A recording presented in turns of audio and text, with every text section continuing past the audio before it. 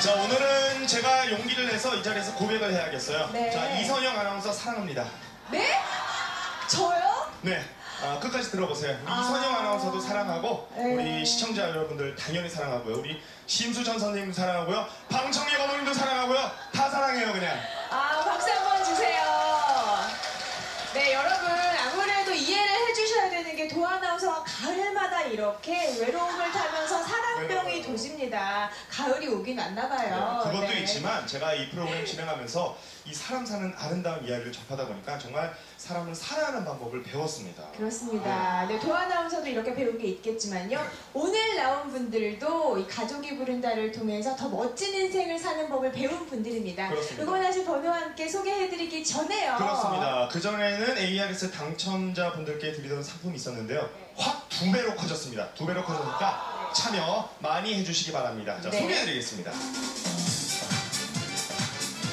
5년 전 가족이 부른다가 얼굴을 날리기 시작해서 지금은 충북 충주를 대표하는 가족이 됐다고 합니다. 이 가족에게 무슨 일이 있었던 걸까요? 국악가족팀 15801에 오늘 부를 순서를 정해보겠습니다. 자, 15801에 번호는요. 6번이죠?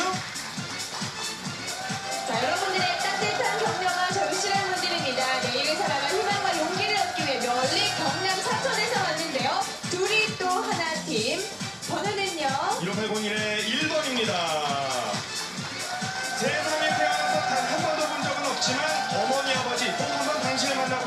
지금 어디에 계십니까? 보고 싶은 얼굴팀 15801의 5번입니다. 짝을 찾지 못해 고민인 분들이라면 지금 당장 가족이 부른다로 오세요. 인생을 함께한 반려자를 찾아드립니다. 신이산 가족 팀. 번호는요. 15801의 3번이고요. 가족이 부른다에서 소원을 말하면 웬만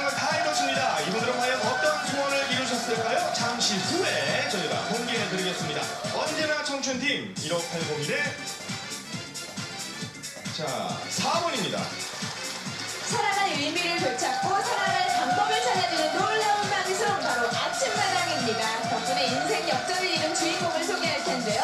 콩깍지 자매팀 자 옷이 아주 화사한데요. 번호는요? 15801의 2번입니다. 네.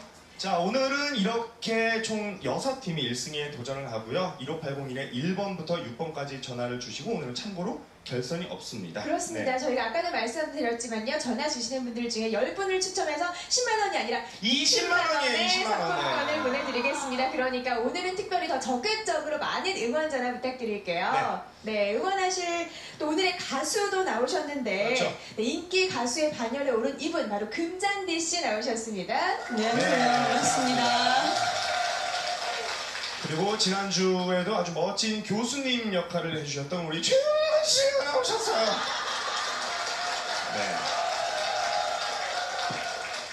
네, 네, 자 그러면 오늘의 첫 번째 팀. 네, 바로- 첫 번째 팀 네. 모셔보겠습니다